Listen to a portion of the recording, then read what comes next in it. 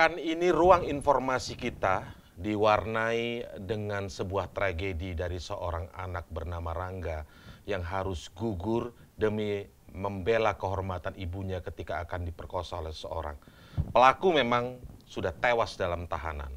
Tetapi bagaimana uh, Republik ini memandang tragedi ini tidak hanya pada kasus hukum saja, tetapi mengambil makna besar. Sampai sejauh mana bangsa ini, pemerintah saat ini memberikan perlindungan terhadap anak dan juga terhadap perempuan. Langsung saja kita uh, berbincang dengan psikolog forensik dan juga konsultan Lentera Anak Foundation, Bang Reza Indragiris. Assalamualaikum, Bang Reza. Apa kabar? Assalamualaikum warahmatullahi wabarakatuh. Alhamdulillah sehat Mas Indra. Ya, baik, alhamdulillah. Baik, Bang Reza, kata kita uh, beranjak ke Aceh saat ini pekan ini karena memang dalam sepekan ini kita ruang informasi kita diwarnai oleh sebuah tragedi yang cukup memilukan memang. Seorang anak harus uh, gugur begitu demi membela kehormatan ibunya yang satu akan diperkosa oleh seseorang. Memang pelaku sudah ditangkap dan bahkan uh, sekarang sudah uh, informasi sudah tewas dalam tahanan saya ingin menggali sebenarnya dari sisi bagaimana ada seseorang yang bisa sebegitu kejinya tindakan pemerkosaan saja itu saja sudah sebuah apa kekejian yang luar biasa apalagi sampai tega harus membunuh seorang anak yang usianya 9 sampai 10 tahun. Bang Reza mungkin punya analisis tersendiri soal itu, Bang Reza. Saya prihatin, saya sekaligus merasa takut dan marah ya adanya peristiwa semacam ini tapi kalau kita mau retrospeksi barangkali karena dengan segala hormat negara sedikit banyak sudah melakukan kegagalan terhadap masyarakatnya. Hmm. Siapa masyarakat yang saya maksud? Tak lain tak bukan adalah si pelaku sendiri. Hmm. Informasi yang saya peroleh, Mas Indra, bahwa si pelaku ini punya riwayat penyalahgunaan narkoba. Yang bersangkutan juga residivis karena pernah uh, menjadi pembunuh dalam kasus yang lain. Hmm. Nah, yang bersangkutan masuk ke dalam lapas. Sesuai dengan namanya, lembaga pemasyarakatan, maka otoritas lapas harus melakukan segala macam daya upaya untuk memastikan bahwa orang ini suatu saat nanti begitu kembali ke tengah masyarakat akan menjadi warga negara yang lebih baik, warga ya. negara yang bertanggung jawab. Betul. Nah, pertanyaan besarnya, sebelum si pelaku ini diputuskan untuk menjalani asimilasi, berarti keluar dari lapas, berarti ya. kembali ke masyarakat, dilaksanakan atau tidak? Sebuah hmm. program yang dinamakan Risk and Need Assessment. Risk okay. and Need Assessment. Sesungguhnya harus dilakukan untuk menakar seberapa jauh potensi kebahayaan sinapi hari ini, seberapa jauh kemungkinan dia akan menjadi residivis, seberapa jauh dia akan memunculkan kembali kebahayaan ke tingkat masyarakat. Nah, kita bayangkan seorang penyalahguna narkoba, apalagi yang pernah memiliki riwayat melakukan aksi pembunuhan, ini bukan napi biasa ini need and risk assessment-nya seharusnya dilakukan sangat-sangat ketat. Yeah. Bahkan kalau perlu standar pembebasan itu harus dibikin lebih tinggi, harus hmm. dibikin lebih ketat untuk memastikan kita bersama bahwa sekali lagi si napi ini kalau kembali ke tengah masyarakat tidak akan memunculkan kebahayaan lagi. Hmm. Tapi fakta bahwa hari ini kita berbincang tentang tragedi, yeah. Tuhan terhadap anak sekaligus yeah. perkosaan, hmm. menjadi dasar bagi kita untuk sungguh-sungguh khawatir bahwa need and risk assessment yang seharusnya diselenggarakan itu hmm.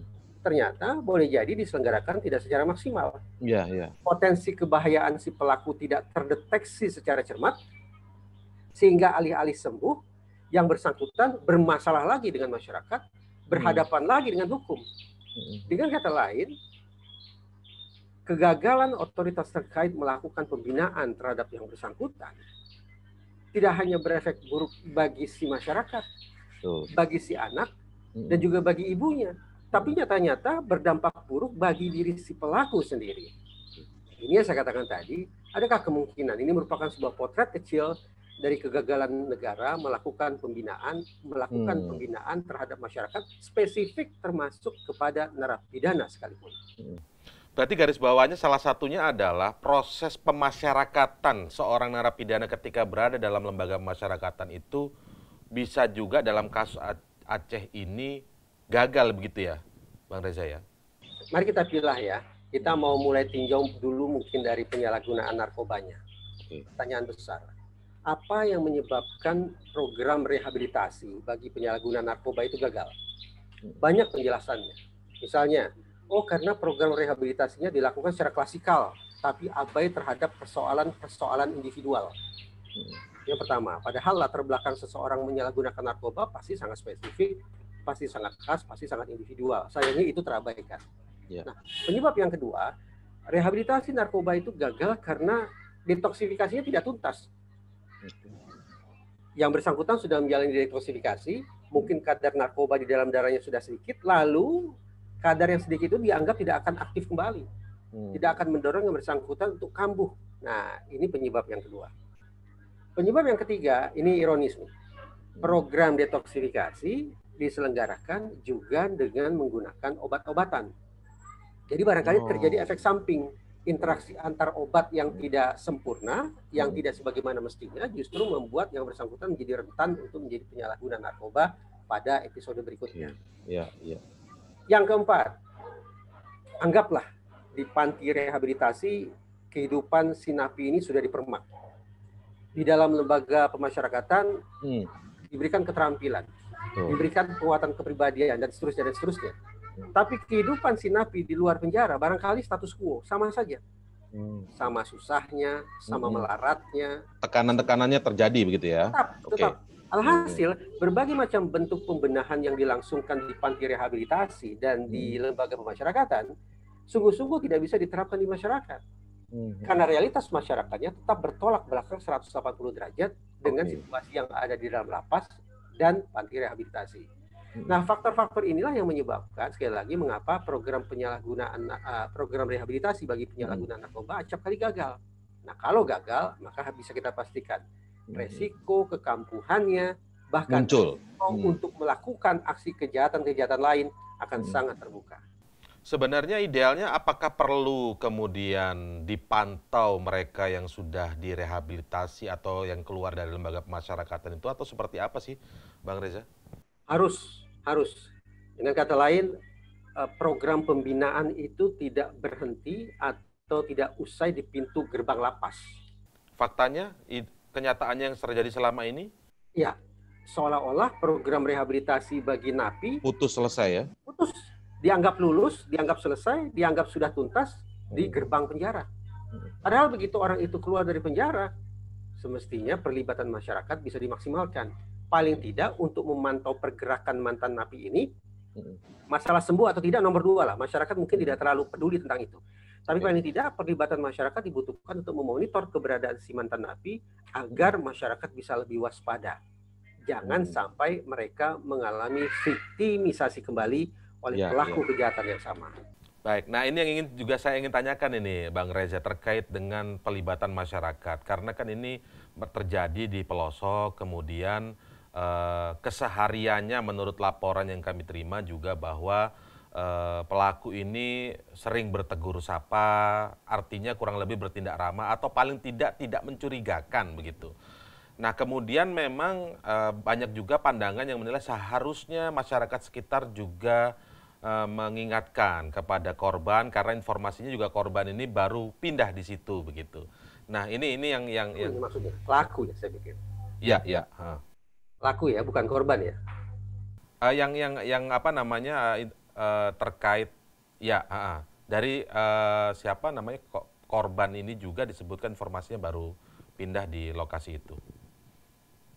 Kalau pelaku kalau pelaku memang baru keluar maksudnya begitu. Lalu apa pertanyaan Mas Indra? Nah, bagaimana pelibatan masyarakat? Apakah perlu mengingatkan juga, ataukah mengaw apa namanya mengawasi tindakan-tindakan dari uh, pelaku begitu ketika setelah keluar, ataukah mengingatkan orang-orang di sekitar? Jadi sudut pandang mana yang kira-kira paling tepat ini, Bang Reza? Idealnya memang begitu. Artinya ada filosofi penghukuman yang seiring sejalan antara pemerintah dan masyarakat. Kalau pemerintah sudah jelas, filosofinya adalah rehabilitasi dan hmm. reintegrasi. Tuh. Bagaimana mengemas orang ini, memprogram ulang orang ini agar sembuh, rehabilitasi, dan agar kembali ke tengah masyarakat, reintegrasi. Ya. Tapi mari kita bicara kenyataan ya. Ada survei yang diajukan ke masyarakat terkait dengan siapa sosok hakim ideal. Ternyata masyarakat kebanyakan mengatakan sosok hakim ideal ada pada diri Artijo Alkostar. Hmm Jika didalami kenapa sosok Artijo Alkostar menjadi contoh atau menjadi panutan? Ya. Jawabannya adalah karena Artijo Alkostar tegas terhadap pelaku kejahatan, khususnya pelaku tindak pidana korupsi. Hmm. Artijo Alkostar lah yang selalu menaikkan atau memberikan pemberatan. Ya, memperberat. Ya. Apa yang bisa kita tangkap? Ternyata suasana hati masyarakat atau mindset masyarakat ketika berhadapan dengan pelaku kejahatan, filosofinya bukan rehabilitasi, tapi filosofinya rehabilitasi, tapi retributif. Hmm. retributif atau balas dendam hmm. itu merupakan filosofi yang sesungguhnya paling purbakala, paling bahla dalam riwayat penal sistem, okay. dalam riwayat penghukuman. Nah, hmm. jadi ada ketidaksinkronan antara uh, penyikapan pemerintah terhadap narapidana dan penyikapan masyarakat terhadap orang-orang yang bermasalah dengan hukum. Adanya perbedaan filosofi atau perbedaan penyikapan itu membuat saya sanksi bahwa masyarakat sungguh-sungguh ingin dilibatkan untuk tujuan memonitor, untuk hmm. tujuan hmm. menindaklanjuti program rehabilitasi yang sudah dilangsungkan di dalam lapas. Hmm. Boleh sulit itu, sulit sulit untuk terjadi itu ya. Boleh jadi masyarakat lebih antusias untuk memantau hmm. sampai mantan napi ini kepleset melakukan kejahatan lagi sehingga diajar rame-rame tersedia excuse bagi kita, tersedia pretext bagi oh. masyarakat. Sekarang kita berikan hukuman maksimal. Kalau hmm. negara ternyata tanda petik mengasihani orang ini, kalau negara ternyata justru membina orang ini, sekarang hmm. sakitnya kita sak, saatnya kita membinasakan orang ini. Tersedia pretext. Oh. Itu mindset yang ada di masyarakat kita selama ini menurut Bang Reza ya? Ya, silakan Mas Indra lihat. Hmm. Copet kah, orang serempetan di jalan kah, Adakah kemudian yuk kita berakrab-akrab, kita coba saling menemukan kompromi, menemukan solusi bersama yang hmm. menyenangkan kedua belah pihak tidak. Yang ya, utama ya, dikedepankan ya. adalah bagaimana satu membalas. pihak bisa membalas pihak lain. Hmm.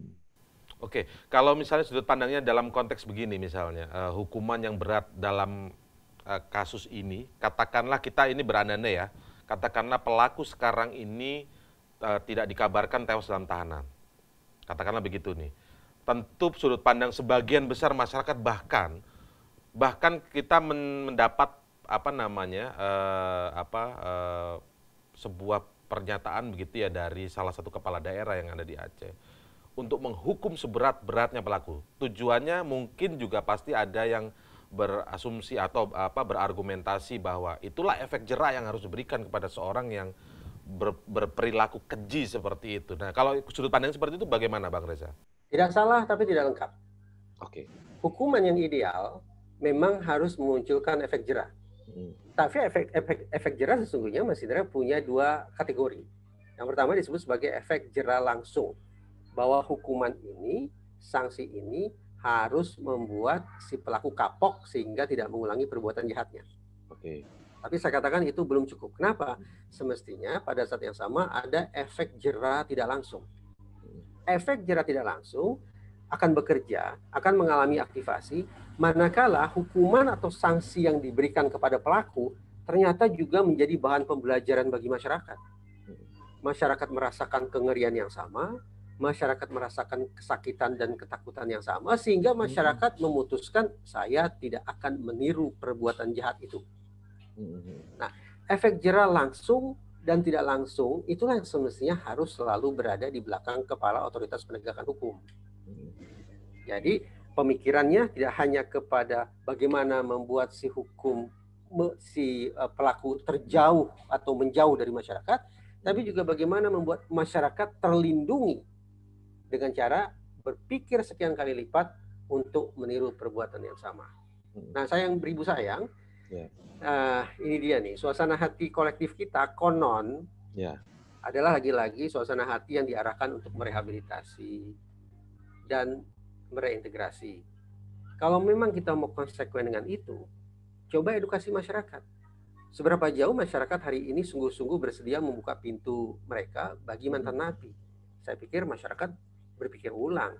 Masyarakat tetap menganggap bahwa mantan napi adalah orang yang tanda petik gagal untuk disembuhkan. Hmm. Daripada kemudian kita berfokus ikut-ikutan merehabilitasi atau memperlakukan mantan yeah, napi dengan yeah. baik, lebih yeah. baik kita bikin pagar setinggi-tingginya pasang bayonet tajam-tajamnya di pagar kita hmm. untuk memastikan bahwa orang yang konon gagal ini tidak akan menyakiti kita. Hmm.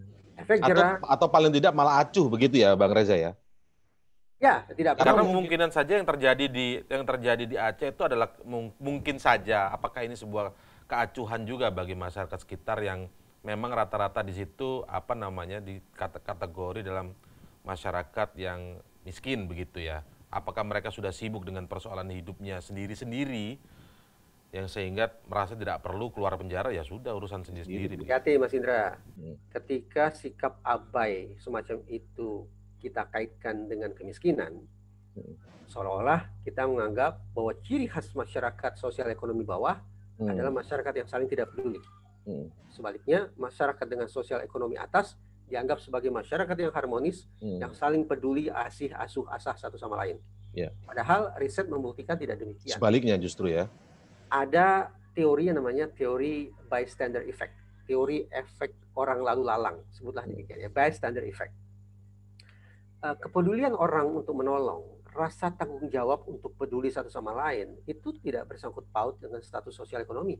Hmm. Tapi justru di tempat yang ramai, semakin ramai orang berada di tempat yang sama, kepedulian mereka, tanggung jawab mereka untuk saling membantu itu justru hmm. menurun drastis.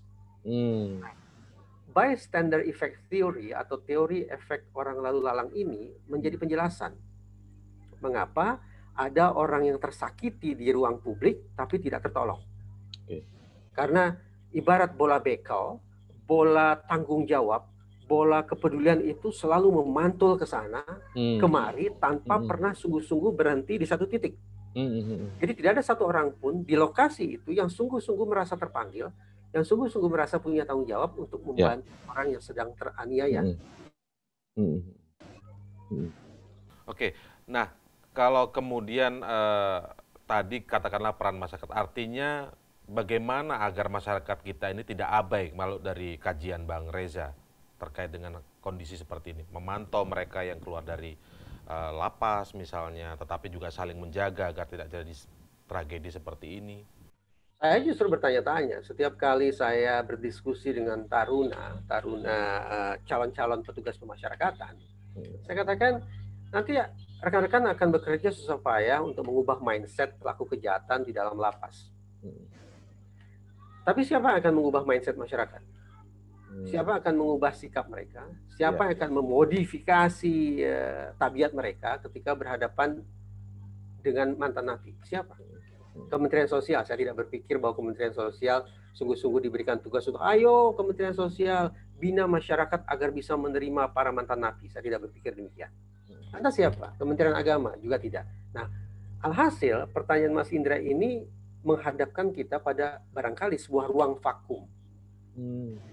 Bahwa kalau kita sungguh-sungguh ingin membangun masyarakat yang lebih beradab, termasuk siap untuk ikut membina mantan narapidana agar menjadi warga negara yang baik, saya pikir kita sungguh-sungguh belum menemukan ada uh, pemangku kepentingan yang diberikan tugas untuk itu pemangku kepentingan untuk membina warga binaan, yeah.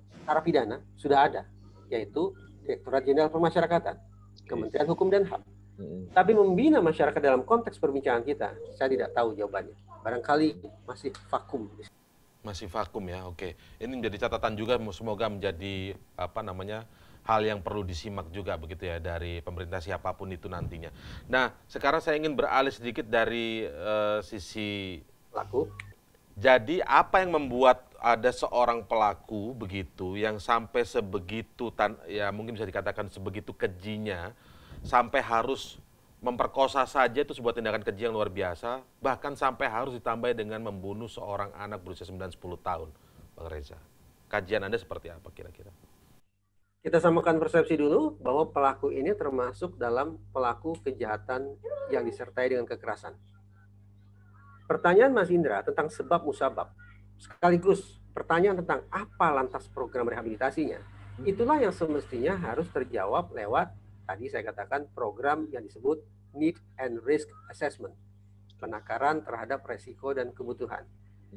Nah spesifik kalau kita bicara tentang sebab musabab, sekaligus rekomendasi rehabilitasi bagi pelaku kejahatan yang disertai dengan kekerasan, maka harus ada lima hal yang dikelola dengan sebaik-baiknya. Pertama, riwayat penyalahgunaan narkoba dan kemungkinan adanya gangguan mental. Pada poin pertama saja, kita sudah menemukan relevansinya. Hmm. Tadi kita singgung kan, hal ihwal ya. terkait dengan pelaku yang memiliki riwayat penyalahgunaan narkoba. Hmm. Ketika narkoba tidak teratasi secara sempurna, efeknya pasti akan ke gangguan mental manusia. Itu unsur pertama. Yang kedua, mari kita cek fantasi-fantasi kekerasannya. Jangan-jangan selama di dalam lapas, kalau nonton berita, dia sukanya berita-berita kriminal saja.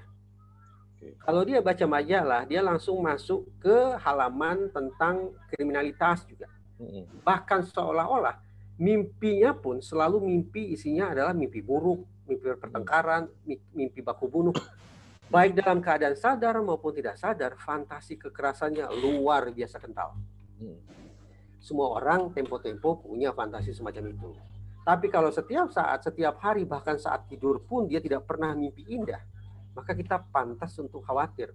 Obsesi orang ini, tanda petik, kegilaan orang ini pada kekerasan, sudah mendarah daging sedemikian rupa. Oh. Ini yang harus kemudian dibongkar dan harus dibina. Itu yang kedua. Unsur yang ketiga, pengekspresian amarah.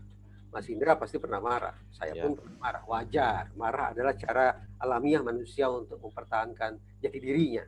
Hmm. Tetapi kalau pada setiap persoalan dia selalu marah, hmm. bahkan marahnya destruktif, entah itu merusak barang, menyakiti ya. orang lain, atau menyakiti diri sendiri, maka hmm. sekali lagi ada sesuatu yang abnormal terkait dengan ekspresi yang bersangkutan ya. dalam uh, mengelola amarahnya. Yang keempat, mari kita cek potensi-potensi yang yang napi ini miliki untuk suatu saat hidup mandiri. Berarti kita bicara kesiapan dia dari segi keterampilan hidup. Kita bicara tingkat pendidikannya, kita bicara kesiapan finansialnya. Segala hal yang akan dibutuhkan oleh yang bersangkutan, kelak nanti setelah keluar dari lapas, seberapa cepat dia akan mandiri. Oh itu mempengaruhi ya, cukup mempengaruhi, oh, ya. Jelas, tadi kan kita bicara apa ya, gunanya ya, kemudian masuk dalam lapas perlakuannya surgawi, tapi keluar dari lapas ternyata kehidupan tetap saja neraka. Hmm. Nah, gitu. Itu unsur yang keempat. Nah, unsur yang kelima yang juga harus dicek dan sekaligus dibina adalah cek stabilitas hidupnya. Stabilitas hidup berdasarkan studi bisa dilihat dari dua hal. Ya. Pertama, domisili atau tempat tinggalnya. Berpindah-pindah tidak. Dan yang kedua, tempat kerjanya apakah dia juga berpindah-pindah atau relatif stabil di tempat kerja yang sama. Mm-hmm. Apa logiknya? Apa penjelasannya? Begini. Semakin stabil seseorang, semakin mampu orang itu beradaptasi terhadap lingkungannya, maka dia akan menetap di wilayah yang sama, maka dia akan menekuni bidang kerja yang sama. Hmm. Tapi kalau dia berpindah-pindah terus, ini menandakan adanya ketidakstabilan, ketidakmampuan yang bersangkutan untuk beradaptasi dengan lingkungan. Oh, Terus boleh jadi ada penolakan dari masyarakat sekitar. Hmm. Nah, lima hal ini yang sekali lagi menjadi sebab musabab sekaligus menjadi panduan eh, rehabilitasi yang hmm. harus dikenakan kepada para narapidana, para pelaku kejahatan yang disertai dengan kekerasan. Nah, silakan Mas Indra tanya ke otoritas lapas need and risk assessment-nya, rehabilitasinya, cakupannya seberapa jauh? Mencapai lima hal yang tadi atau baru sebagian? Dan tuntasnya juga sudah seberapa maksimal? It, itu yang dijelaskan oleh uh, Bang Reza itu sebuah standar yang memang harus dilakukan di setiap lapas. Uh, apakah itu mungkin secara internasional atau secara aturan nasional? Tetapi juga memastikan apakah itu benar-benar dikerjakan sampai ke lapas-lapas yang ada di daerah juga begitu. Lima hal tadi adalah berdasarkan studi okay. yang pada setiap kesempatan diskusi terkait selalu bukan kadang-kadang selalu saya sampaikan ke otoritas Direktorat Jenderal Pemasyarakatan hmm. terkait bagaimana kita bisa memaksimalkan rehabilitasi bagi pelaku kejahatan yang disertai dengan kekerasan. Hmm. Bagaimana realitasnya? Bagaimana uh, pelaksanaannya di lapangan? Yeah. Atau jangan-jangan Kumham punya versi sendiri? Silakan hmm. Mas Indra tanya kepada hmm. otoritasnya. Tapi secara um, uh, lima hal yang kajian studi tadi itu, apakah mudah untuk diaplikasikan nggak kira-kira, Bang Reza? Apakah itu oh itu diaplikasikan di luar negeri dengan mudah, oh, dengan dengan baik gitu, misalnya begitu? Sulit, Mas. Lima hal ini berdasarkan hasil studi disimpulkan sangat penting. Hmm. Tapi sulitnya juga tidak ketulungan. Karena hmm. kalau kita bedah kembali, ternyata uh, program rehabilitasi itu tidak hanya berlangsung di dalam lapas, hmm. tapi otoritas terkait juga harus mengirim, mengirim petugas-petugasnya untuk melakukan oh. pemantauan di luar lapas. Ya, ya. Berapa jauh kita punya kesiapan baik dari segi dana, kesiapan hmm. dari sisi jumlah personil, kesiapan hmm. dari sisi waktu untuk melakukan tugas yang sedemikian komprehensif dan luas hmm. tersebut cakupannya. Hmm. Tapi kita jangan buru-buru berkecil hati. Ya. Nah, sekian banyak negara pun mengakui bahwa program rehabilitasi itu susahnya bukan alang kepalang. Hmm. Itu sebabnya tak disangka tak dinyana, beberapa negara yang tergolong maju sekalipun punya tingkat residivisme yang merisaukan. Hmm. Ternyata betapapun kita ini sudah susah payah memberikan terapi atau rehabilitasi atau apa pun sebutannya, tapi ternyata potensi bagi mantan napi untuk mengulangi perbuatan jahat mereka dalam hmm. kurung menjadi bahaya baru bagi masyarakat ternyata terus saja menyala-nyala. Hmm. Oke, baik Bang Reza, itu akan menjadi apa catatan menarik juga hal yang menarik eh, bagi kita semua yang tentu saja bertanya-tanya bagaimana ada orang bisa sekeji itu ya. Itu itu kajian-kajian yang mendalam tadi. Boleh kita sedikit bergeser sekarang ke apa namanya dari sisi korban ya. Tentu trauma yang luar biasa dialami oleh keluarga ini, terutama oleh sang ibu begitu ya. Mengalami dua hal yang harus disaksikan yang luar biasa pedihnya tentu saja. Uh, apakah mungkin psikologi psikis seorang ibu seperti ini akan bisa uh, kembali secara normal atau seperti apa kira-kira kajian uh, Bang Reza misalnya karena sekarang ini dalam proses pendampingan begitu Bang Reza untuk untuk keluar dari trauma itu. Di ruang publik uh, merespon pertanyaan Mas Indra, tentu saja di ruang publik semacam ini apalagi andaikan pihak keluarga menyaksikan, sungguh-sungguh saya ingin mengawali dengan kalimat mari kita terus-menerus pompa optimisme, pompa keyakinan kita bahwa rasa-rasa sakit, rasa pedih, rasa uh, penderitaan, rasa hmm. sengsara dan seterusnya tetap ada obatnya. Saya orang yang berkeyakinan bahwa kepedihan apa pun yang kita alami hmm. sepanjang kemudian justru mendekatkan diri kita pada Sang Ilahi, hmm. boleh jadi ada kebaikan di baliknya. Hmm. Nah, tapi sekarang kita pindah ke kajian dari sisi keilmuan ya. Ya. Saya harus katakan bahwa kejahatan seksual merupakan kejahatan yang memunculkan efek traumatis luar biasa. Kehilangan sang buah hati, apalagi sang buah hati pergi dengan cara yang sedemikian berat, tentu juga meninggalkan duka yang bukan alang kepalang. Hmm. Dua kejadian buruk yang dialami pada waktu bersamaan, hitung-hitungan di atas kertas sangat berpeluang memunculkan depresi. Hmm. Depresi berarti sebuah kondisi yang kronis, kondisi yang berkepanjangan sekaligus begitu dalam dan sulit kiranya untuk dipulihkan. Ya. Bukan yeah. mustahil, tapi hmm. saya harus jujur mengatakan depresi sulit untuk disembuhkan. Hmm. Bahkan maaf kata ini. Ya. Jadi ada peluang ke arah depresi situ ya, Bang Reza oh, ya, ya. ya. Hmm. Uh, karena kejahatan atau pengalaman pengalaman pengalaman viktimisasinya luar biasa menyakitkan itu mas. Ya. Hmm. Nah, eh, apalagi sebagian ilmuwan menyimpulkan bahwa depresi adalah pintu gerbang yang tanda petik ideal bagi bunuh diri. Hmm, ya, ya. Jadi, sungguh-sungguh kita harus menaruh perhatian terhadap sang ibu agar guncangan kejiwaannya bisa disebutlah dipulihkan dan tidak menampilkan perilaku bahaya baik terhadap dirinya sendiri maupun terhadap orang-orang di sekitarnya. Nah, Terkait dengan trauma sendiri, orang secara gegabah sering berusaha membesarkan hati korban dengan mengatakan sudahlah, lupakanlah, tenang saja, nanti juga hilang sendiri kok. Itu betapapun memuat empati yang tulus, tetapi harus saya katakan tidak terdukung oleh hasil studi. Karena trauma mustahil dilupakan. Program rehabilitasi terhadap trauma tidak ditujukan untuk membuat orang itu lupa program rehabilitasi terhadap trauma tidak dimaksudkan agar orang tersebut sama sekali merasa sembuh sempurna, tidak. Oke. Program tidak ditujukan untuk itu ya, karena itu karena berusaha realistis ya. Tidak realistis. Dua Oke. tujuan itu tidak realistis.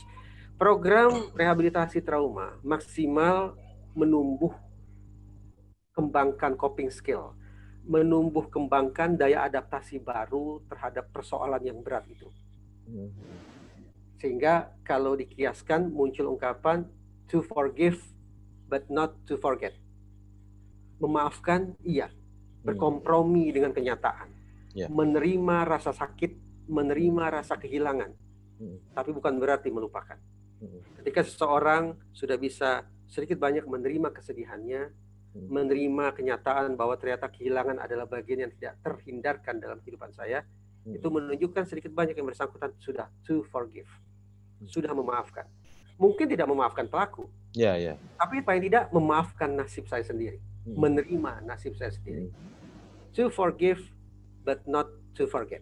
Itu hmm. target kita yang semoga bisa dilakukan oleh otoritas terkait hmm. terhadap ibu yang menjadi korban itu ya. Oke, okay. baik. Nah sekarang kita masuk, sekarang bergeser tentang bagaimana kita melihat secara lebih besar, makro begitu ya. Kita mau harus lihat tadi memang sudah disinggung oleh Bang Reza peran hadirnya negara di sini. Saya kurang kurang uh, paham juga, mungkin sampai hari ini kita juga belum mendengar menteri terkait pemberdayaan perempuan perlindungan anak berkomentar soal ini ya. Mungkin uh, saya juga belum mendapatkan informasi soal itu. Tetapi paling tidak ke depan kita harus bisa bicara juga bahwa bagaimana kehadiran negara dalam konteks sekali lagi melindungi uh, perempuan, kemudian melindungi anak, uh, dan dan tentu saja dibangun dalam sistem hukum yang ada dan lain sebagainya. Bagaimana Bang Reza uh, melihat ini, Bang Reza? Di ufuk sesungguhnya sudah ada sejumlah rancangan undang-undang yang mudah-mudahan akan bisa memaksimalkan upaya perlindungan kita terhadap kelompok rentan termasuk anak-anak dan perempuan kalau memang kedua kelompok individu tersebut bisa dikategorikan sebagai kelompok rentan. Kelompok rentan, oh, ya. Ya. Apa saja itu? Pertama, uh, revisi KUHP. Yang kedua, sebagian kalangan menggebu-gebu mendorong adanya rancangan undang-undang penghapusan kekerasan seksual. RUPKS ya. RUPKS. Uh, saya sendiri memandang bahwa uh, adanya RUU tersebut sah-sah saja tapi ada sekian banyak pasal yang menurut saya harus diluruskan, harus diubah secara mendasar untuk memastikan bahwa upaya perlindungan kita terhadap masyarakat, khususnya terhadap anak-anak dan perempuan, adalah perlindungan yang sungguh-sungguh membumi. Perlindungan yang tidak terlepas sama sekali dari filosofi kehidupan masyarakat kita. Filosofi yang tidak mengandung kelatahan, yang yang yang serta merta mengadopsi berbagai mind, berbagai macam mindset dan tata nilai yang entah datangnya dari mana. Hmm. Nah, tapi paling tidak kalau kita sepakat bahwa kita harus melakukan perlindungan ekstra, terutama sekali terhadap anak-anak dan perempuan, maka dua rancangan undang-undang tersebut yaitu KUHP revisi dan juga RUU PKS perlu dimaksimalkan. Hmm. Ada satu lagi sesungguhnya yaitu dalam konteks pencegahan. Yeah. Dua undang-undang saya sebut tadi berada di titik hilir yaitu hmm. untuk menyikapi situasi yang telah terjadi. Okay. Bagaimana menyikapi kejahatannya. Tapi bagaimana mencegah ini yang menurut saya perlu dihadirkan rancangan undang-undang ketahanan keluarga. Hmm. Mari kita bersepakat Mas Indra. Hmm. Ketika Mas Indra sebut anak, perempuan dan semestinya juga laki-laki, yeah. inti dari segala intinya yang merekatkan mereka apa? Keluarga. Okay. Sampai hari ini kita belum hmm. memiliki rancangan undang-undang ketahanan keluarga hmm. atau rancangan undang-undang sejenisnya hmm. yang bisa kita manfaatkan untuk menumbuhkan resiliensi di dalam keluarga agar kemudian tidak menjelma menjadi pelaku-pelaku atau hmm. menjadi warga negara yang tidak bertanggung jawab. Hmm. Itu dari sisi hulu ya yang selama ini mungkin juga jarang disentuh atau dibahas begitu ya. Jarang. Saya. saya bisa katakan misalnya Undang-Undang Perlindungan Anak Mas Indra dua kali direvisi, fokus revisi adalah titik hilir. Di titik hilir ya. Okay. Bagaimana kita harus memperlakukan pelaku, bagaimana hmm. kita harus memperlakukan korban. Terus hmm. menerus fokusnya adalah pada seperti itu saja. Oke. Okay. Titik hulunya masih belum mendapatkan uh, porsi yang semestinya. Oke. Okay. Catatan yang menarik. Terima kasih sekali lagi uh, Bang Reza atas waktunya berbincang bersama kami di newsmaker.medcom.id. Semoga kajian-kajian Bang Reza dari melihat sisi psikologi uh, secara forensik begitu di sisi pelaku, kemudian secara psikologis juga psikis dari para uh, dari korban dan bagaimana ke depan kita melihat dan masyarakat. masyarakat. Pelibatan masyarakat itu juga menjadi penting sekali dalam konteks mencegah tragedi-tragedi serupa. Sekali lagi cukup rangga saja selama jalan pahlawanku. Terima kasih Bang Reza Indragiri Amril telah bergabung bersama kami. Assalamualaikum warahmatullahi wabarakatuh. Terima kasih Mas Indra. Waalaikumsalam warahmatullahi wabarakatuh. Ya, itu tadi eh, diskusi kita dalam Newsmaker kali ini. Saya Indra Maulana, terima kasih telah bersama kami. Sampai jumpa.